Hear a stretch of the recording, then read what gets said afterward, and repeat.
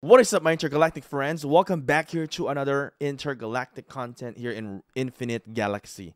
Now, as you guys can see, in Infinite Galaxy, we have this new event that allows you to obtain the crew members. So you can actually obtain Claude Reid data cards.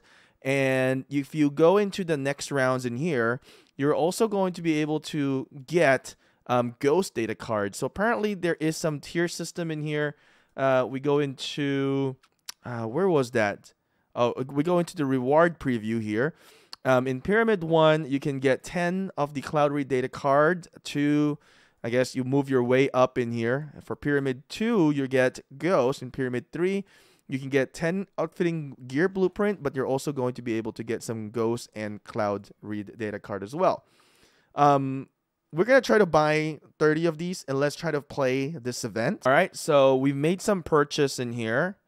Um, $10 for 30 let's see if it's worth it in here. Um, I wonder how many times you can buy this. I guess you can buy this how many times you want it to be. Wow okay. So we have 30 right now. We have one uh, 31 actually. So do I just click this? Nope. I have to click I have to click here. All right so that unlocks one. So it's a chance base. So now I have to use three. Huh. Interesting. Wait, no way. Wait, that costs three? Just to open that up? Wow. Wow. Um, wow. All right, let's do five. I don't know if it's worth it. Now it's getting what? the cost is getting higher. Um they should have just done this by ones. This is a little bit too much. Um I think I'll be out soon. I'm not even going to get the Claude Reid data card in here. All right, where do we land in here? All right, citation device.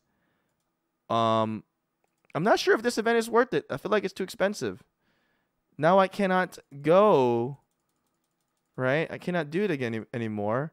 And the chance is very low. The probability is very low. I mean, you have to spend a lot to get the Claude Reid data card. And there's no ways for you to earn this. Uh, let's see. Use 150 orange flagship blueprints. Use 10 orange crew data cards. Um, 30 orange crew data cards. 50 orange data cards. Recruit recruit 30 times. Okay, there's a ways for you to get this. So let's do this. Um, let's recruit. And let's recruit here. All right. And like, let's take a look in what is the uh, task that we need to do. That's that's a little bit too too difficult to gain. All right, let's get this.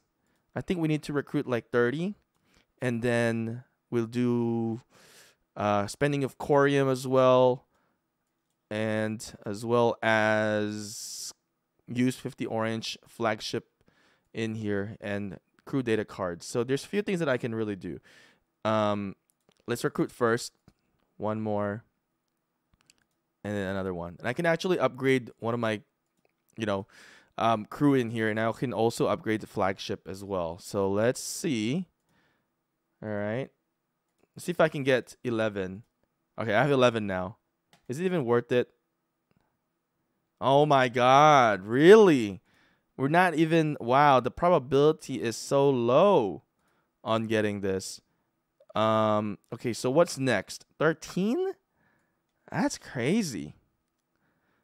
Like this will be like if I do this, it'll be like 6 7 8 I guess 9 10 11 12 and I need to do all that. Wow. I guess I can do another set in here, but I feel like to really get Claude Reid data card, I mean, you have to spend a little bit more. I mean, the mission itself is not even enough to get this. Um, yeah, I, I don't know how worth it this is to do. I mean, if you're really a big spender and you really want to get Claude Reid data card, I mean, is the only way, I guess, for now to get it. I don't remember if it's in the crew summoning in here. Uh, let's see. I don't think it's in here, right? So that's the only way. So it, I guess it, at the end of the day, it depends on what you're willing to spend in the game to obtain that crew. So that's really pretty much your own discretion in here. In my opinion, I feel like the event is a little bit difficult. Um, the event is a little bit uh, kind of hard to obtain, you know, the ghost data cards. Um, I'd say this is pretty good, the chip encasing chest. So I'll go into the carrier in here. Let's open that bad boy up. All right, we have five. All right, let's open that up. These are worth it to get. I would say that's one of the good ones that we can have.